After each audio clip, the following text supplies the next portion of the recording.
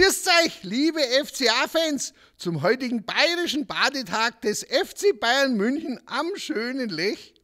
Als berufsmäßiger Saudum daherredner war ich fast schon beeindruckt, wie humorvoll die Bayern ihr Pokalpleite im hohen Norden gegen die Kieler genommen haben.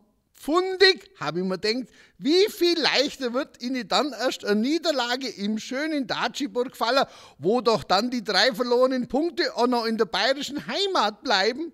Zum Trost leihe dem Thomas Müller um ein Zipfelmütz als Bademütz, weil mit der gelingt es mir seit fast 73 Jahren auch den größten Schmarrn mit Humor zu nehmen.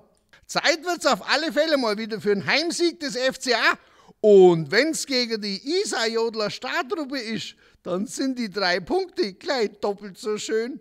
Auf geht's! Dann stellen wir dem haushohen Favoriten mal wieder dabei und dann heißt's am Ende mit schwäbischem Dusel 2 zu 1 und zack! Für euch, Servus!